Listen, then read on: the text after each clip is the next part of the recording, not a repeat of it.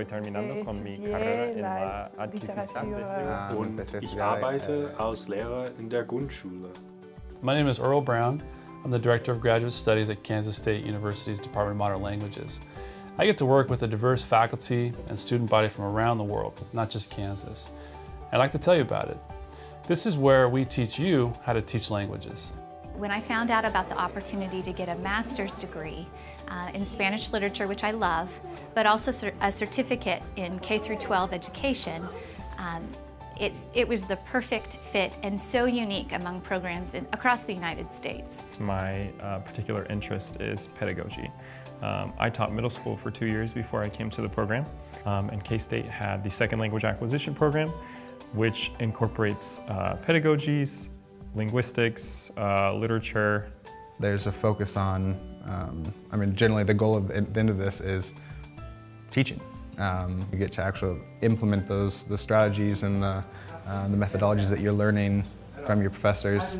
Like, oh, okay, I, this is how I can do it better. So you can apply them immediately in your classes. Each uh, level has about three or four GTAs that work together, and they will share lesson plans, they'll share activities, and they also help create the tests together so they all know what the expectations are for their students by the end of the unit. I had about 32 students that I had to teach. Um, I went back to a French 4 class and I saw my French 1 students in that class and it's incredible how much they improved. And I almost teared up to see their success.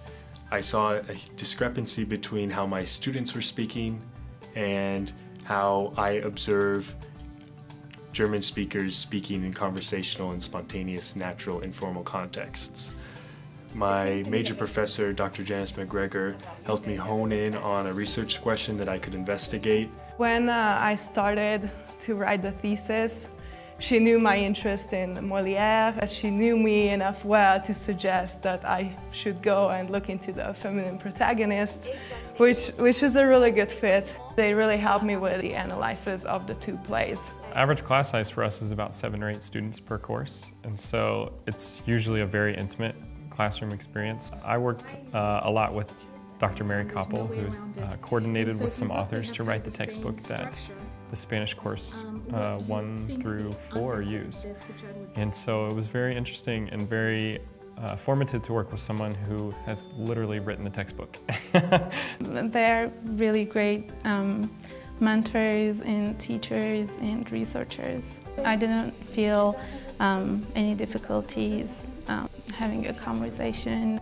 They um, give me advice at every stage and uh, even for job applications they do uh, mock interviews and I will be participating in one. I feel like there's, there's a professor there for each different kind of specialty within language. So whether it's acquisition, whether it's identity, whether it's phonetics, whether it's um, semantics, or whether it's um, language variation. What, what I did, there's, there's nobody's ever researched that. So they all brought different aspects to, to, to really support me in, in that. I didn't just learn about things related to the Latin American community or the Spanish community, but everywhere. My class had people from India, from Pakistan, um, all over the world. And so I got education outside of the classroom just with interacting with my classmates. Uh, the advice that I received in the classes that I took um, contributed enormously to the teacher that I am today.